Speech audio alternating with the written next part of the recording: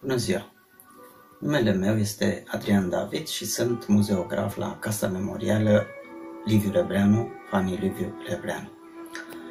Am fost întrebat uh, de-a lungul timpului de către vizitatori și de către reprezentanții ai presei care ar fi, din punctul meu de vedere, piesa de patrimoniu cea mai importantă din Casa Memorială Liviu Lebreanu. Răspunsul meu a fost întotdeauna același, cea mai importantă piesă din punctul meu de vedere este bucățica de lemn care provine din uh, spânzurătoarea cu care a fost uh, executat Emir Rebreanu, fratele scriitorului. Frate a cărui uh, dramă o știm cu toții din cei care citim, evident, din paginile romanului Pădurea spânzuraților. Știm că Emir Rebreanu Apostol Bologan, romanul publicat în 1922.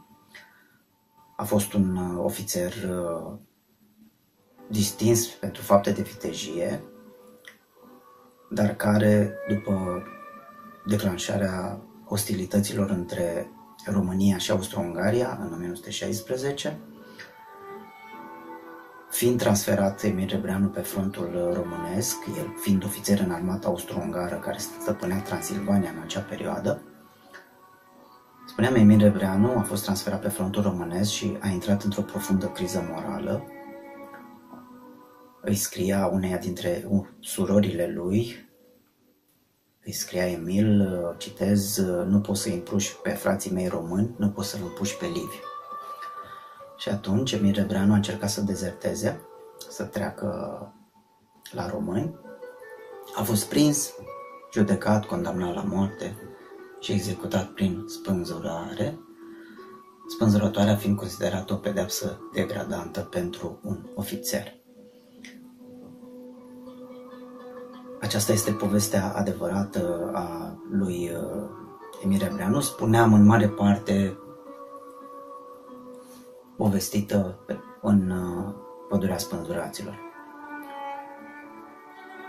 După ce a aflat de drama fratelui său, Liviu Rebreanu a mers la Ghimeș, unde fusese executat Emil, a desumat cadavrul, l-a identificat după un defect la indexul mâinii stângi pe care Liviu Rebreanu uh, îi provocase lui Emil în copilărie, practic îi stripise palanga indexului de la mâna stângă, spuneam.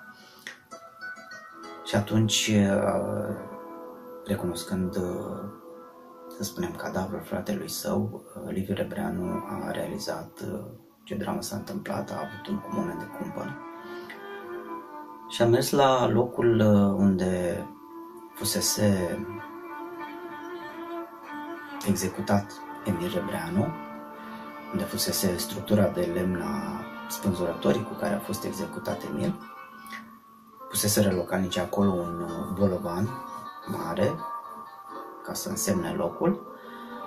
Au dat uh, bolovanul la o parte, au lovit cu un târnăcop și au uh, descoperit baza îngropată a structurii de lemn a spânzurătorii, de unde și-a luat Liviu Rebreanu acea bucățică de lemn.